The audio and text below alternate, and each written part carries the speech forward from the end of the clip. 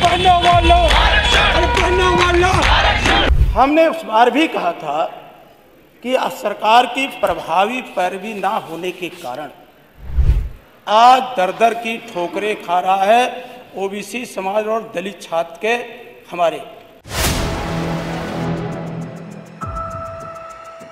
उनहत्तर हज़ार शिक्षक भर्ती में हुए आरक्षण घोटाले का मामला दिन प्रतिदिन तूल पकड़ता जा रहा है। सड़क से लेकर विधानसभा तक इस मामले की गूंज सुनाई दे रही है। लंबे समय से अभ्यर्थी नियुक्ति की मांग कर रहे हैं, लेकिन सरकार को इन अभ्यर्थियों की पुकार सुनाई नहीं दे रही है। लखनऊ की इको गार्डन में तमाम अभ्यर्थी लंबे समय से एक आस लगाकर बैठे हुए हैं।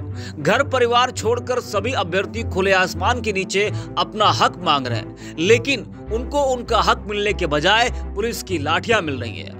अभ्यर्थियों ने कई बार शिक्षा मंत्री और मुख्यमंत्री आवास का भी घेराव किया, लेकिन पुलिस की लाठियों के अलावा उन्हें कुछ भी नहीं मिला।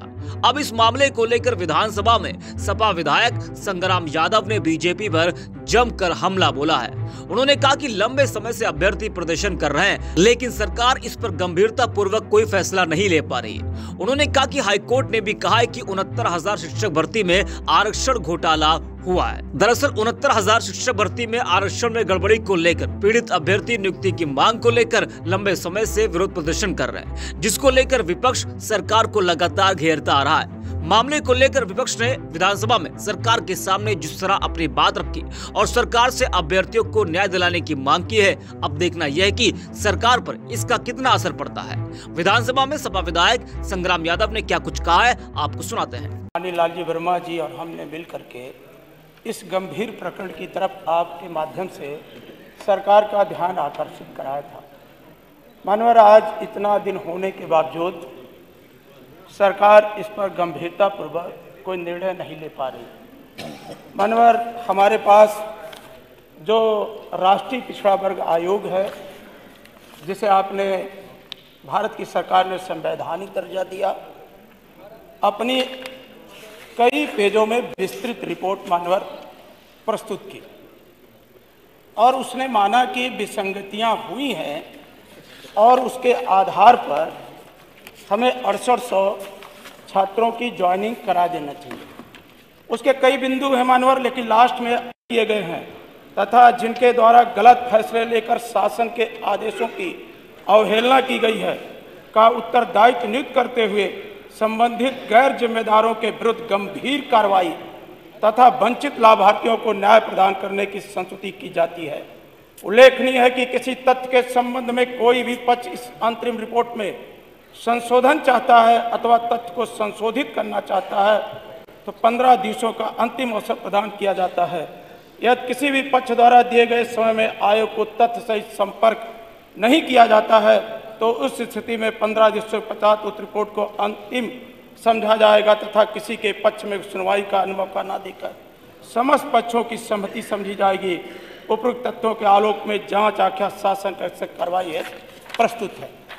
मानवर देश के संवैधानिक आयोग ने माना और उसके आधार पर माननीय मुख्यमंत्री जी ने, उत्तर प्रदेश के माननीय मुख्यमंत्री जी ने, योगी जी ने भी इस बात को माना कि आरक्षण में विसंगतियाँ हैं और इनके साथ न्याय होना चाहिए।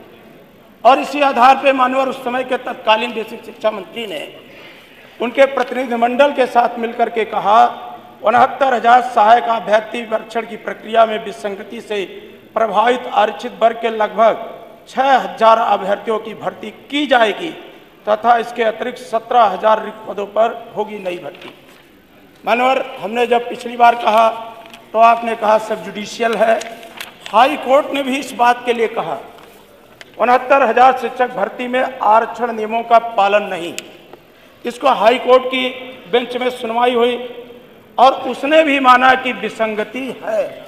आप डबल बेंच हमने उस बार भी कहा था कि सरकार की प्रभावी पैरवी ना होने के कारण आज दर दर की ठोकरें खा रहा है ओबीसी समाज और दलित छात्र के हमारे।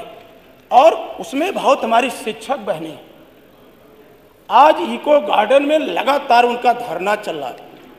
कोई जिम्मेदार व्यक्ति नहीं मिला, चाहे वो बेसिक शिक्षा मंत्री का आवास हो, डिप्टी सीएम साहब का आवास हो माननीय मुख्यमंत्री जी से वो सब मिलने का प्रयास किए और उस समय माननीय मुख्यमंत्री जी ने उनके प्रतिनिधिमंडल से मुलाकात भी की थी।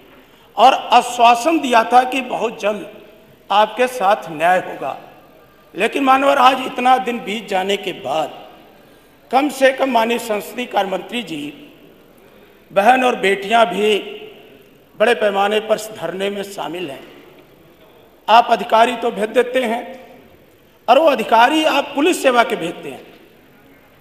कोई जिम्मेदार अधिकारी वहाँ जा करके उस समस्या के हल के प्रति गंभीर, गंभीरता से विचार नहीं कर पा रहा है, जिनके कारण वो दर दर की ठोकरें खा रहे माननीय नेता विरोधी दल श्री अखिलेश यादव जी से उनका प्रतिनिधिमंडल कई बार मिला। मानवर अभी हाल ही में मिला। मानवर नेता विरोधी दल ने अपने पार्टी के जिम्मेदार नेताओं को भी वहाँ भेजने का काम किया। आखिर जब आप कहते हैं सबका साथ, सबका विकास, सबका प्रयास तो आखिर क्या कारण है कि भारत का पिछड़ा वर्ग आयुक्त है? उत्तर प्रदेश का राज्य पिछड़ा वर्ग आयुक्त है। खुद मुख्यमंत्री जी ने संज्ञान लिया हो और चुनाव के वक्त भी कहा हो कि बहुत जल्द इनको नियुक्त कर दिया जाएगा। इसके बावजूद भी वो नियुक्तियाँ नहीं हो रही हैं। तो कहीं ना कहीं हम सब इस बात के लिए विवश हैं सोचने के लिए मजबूर हैं धन्यवाद। कि कहीं सरकार की कथनी और करनी में अंतर तो नहीं।